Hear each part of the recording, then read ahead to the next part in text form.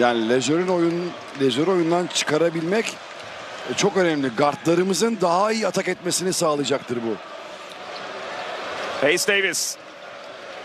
Melli yukarıda aldı. Marco'nun perdesini kullanıyor bir orta mesafeli Nicolo Melli'den.